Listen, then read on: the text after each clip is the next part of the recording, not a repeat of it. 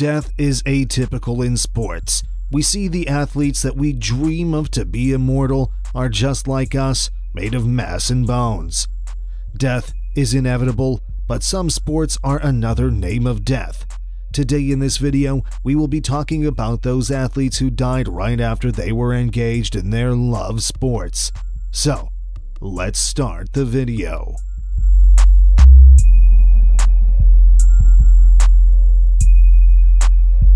Number 10. Hank Gathers Although basketball is one of the safest game, it is still known to suffer live deaths on the field.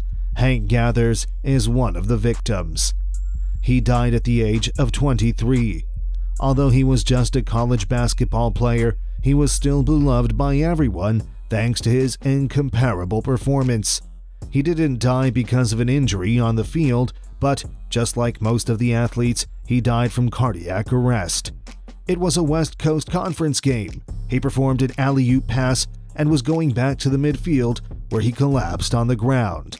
He regained a little consciousness and was rushed to the nearest local hospital, where he died at the age of 23. He was known to have a cardiac disease and was prescribed pills a long ago before the match, and he was cleared to play basketball. The autopsy report revealed that he died of hypertrophic cardiomyopathy. Number 9. Nodar Kumaridashvili Nodar Kumaridashvili was a luge athlete participating for his Olympic game. Although in luge an athlete can averagely go at the speed of 144.8 kilometers per hour, the number of deaths is surprisingly very low, which is a very good thing. But Nodar became one of the victims of luge. In February 2010, Nodar was having his final training run where he lost control and was thrown off the luge. He hit an exposed steel pole at the traveling speed of 143.6 kilometers per hour. Soon he was surrounded by medics where cardiopulmonary and resuscitation was performed. Soon he was rushed to the nearest hospital where he died from the injury. He became the 16th athlete to die from luge all over the world. Number 8. Wilf Slack Although cricket is one of the safest looking sports to play, it is still known to take the lives of young athletes.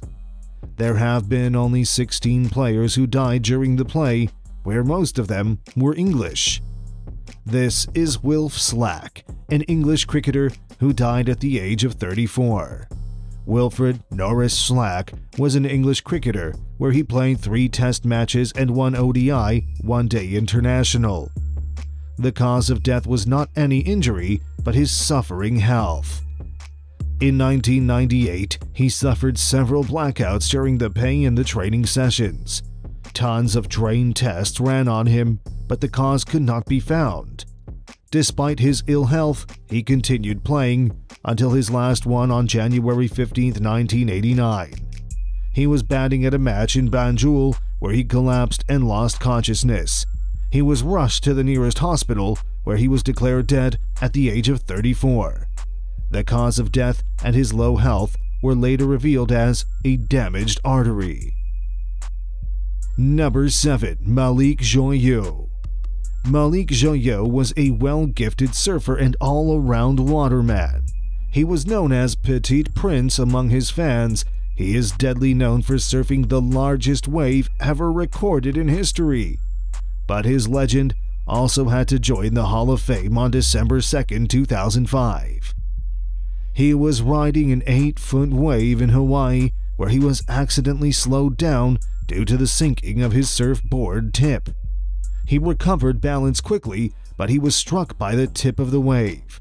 The impact broke his surfboard and he couldn't be found near his board.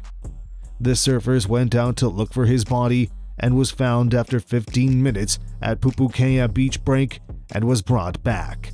The medics tried to resuscitate but failed to do so.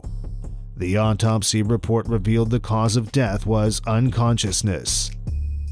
Number 6. Fran Crippen Fran Crippen was an open water swimmer from America.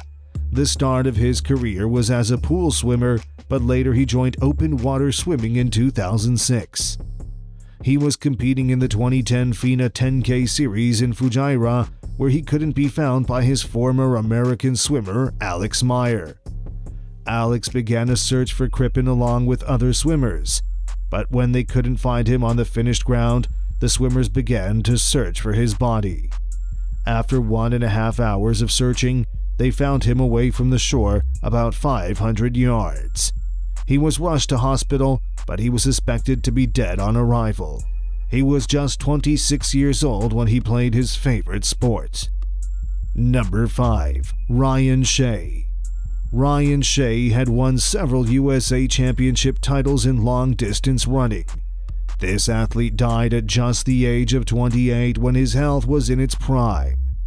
He was on the run, like always, at U.S. Olympic marathon trials in New York.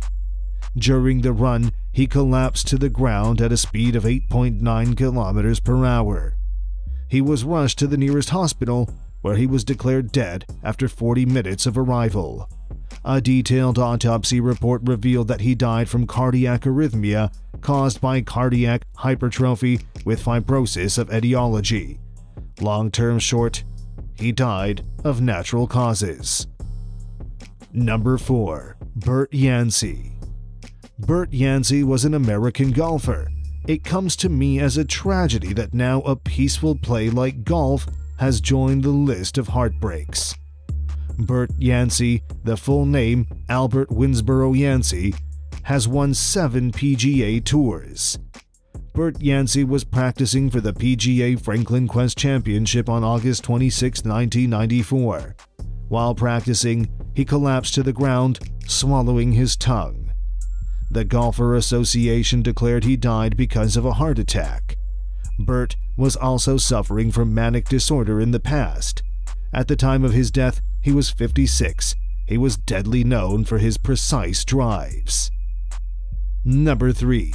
Alex Marquez Alex Marquez was a Portuguese young soccer player whose life was just about to get started. His final match was between Turizense and Carapinheirense. He fell to the ground after seven minutes of the third division match. He was found unconscious on the pitch, and the players ran over to help him and medics rushed over. He was taken to hospital, but died on the way in ambulance. This young blood died at the age of 20. Number 2. Wouter Weylandt after a peaceful game like golf, now cycling is down the list. Wouter Weylandt was a Belgian professional cyclist who played for UCI Pro Team Quickstep and Leopard Trek during the prime of his career. He has won several matches, like the 17th stage of the 2008 Vuelta a España and the third stage of the 2010 Giro d'Italia. Wouter Weylandt was about to go downhill for the final part of the race Giro d'Italia in 2011 he was cycling down at a speed of 80 kilometers per hour when he looked behind before a quick turn to check up on the statistics. He then lost control and hit a low wall ahead while his foot was on the pedal. He was then thrown away to the right where another obstacle struck him. The medics were just behind him in a service car and tried to resuscitate him, but he suffered severe trauma and that was irreversible.